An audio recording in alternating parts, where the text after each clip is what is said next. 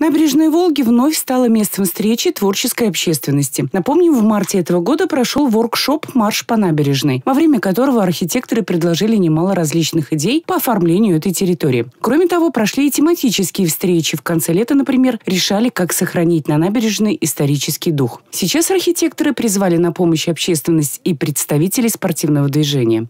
Спортивные активности на берегу, спортивные федерации – и другие активности, впрочем, не, не только спорт, это то, что наполняет набережную, набережную жизнью, это то, что делает ее интересной, зрелищной, и поэтому очень важно эти активности отсюда не убрать, э, а сохранить их здесь, но в таком виде, чтобы это было эстетично, э, красиво и удобно другим пользователям набережной.